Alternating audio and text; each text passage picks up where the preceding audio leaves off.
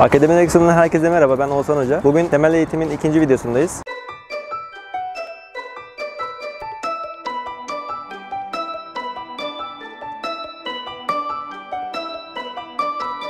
Bugünkü videomuzda kemer ayarları nasıl yapılır onları yapacağız beraber. Emniyet kemer ayarımıza geldiğimiz zaman bir çarpışma esnasında oluşabilecek zararları en az düzeye indirmek için emniyet kemerinin yükseklik ayarı yapılmalı. Omuzumuzun hemen yanından köprücük kemiğinin üzerinden geçmesi sağlanmalı. Takıldıktan sonra mekanizmasının çalışıp çalışmadığı kontrol etmeliyiz. Boşluğa alınmalı. Leğen kemiğinin üzerinden geçirilmelidir. Araçtaki tüm yolcuların emniyet kemeri kontrol edilmeli. Çünkü bütün yolcuların emniyet kemerini takması gerekiyor. Ve karayollardaki ölümlerin çoğu emniyet kemeri takmayan kişilerden oluşmaktadır. Emniyet kemeri takılmadığı takdirde kaza esnasında araçtakiler iki aşamalı etki altında kalırlar. O birinci aşamadan başlayalım. Birinci aşamamızda emniyet kemerini takmayan yolcu ile aracın iç yüzeyi arası meydana gelen çarpışma veya emniyet kemeri takmayan yolcuların birbirleri ile çarpışmasıdır. İkinci aşamaya geldiğimiz ise vücudun iç organları, göğüs iç duvarına, iskelet yapısına çarpması.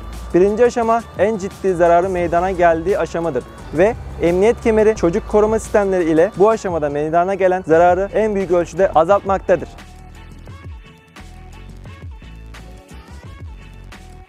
Emniyet kemerinin faydalarına gelirsek aracın iç kısmı ile temas olasılığı yaralanmaları ciddi şekilde azaltır. Çarpışma esnasında insan vücudunun etki eden kuvvetleri vücudun en güçlü kısımlarına dağılır. Sürücü veya yolcunun araç dışına fırlamasını engeller. Araç içinde bulunan diğer kişilere gelebilecek darbeleri önler. Emniyet kemeri hayatta kalma şansını büyük oranda artırır. Temel eğitim videomuzdan bu kadar. Diğer videomuzda görüşmek üzere. Akademi Direksiyon'dan sevgiler, saygılar. Emniyet kemerinizi takmayı unutmayın.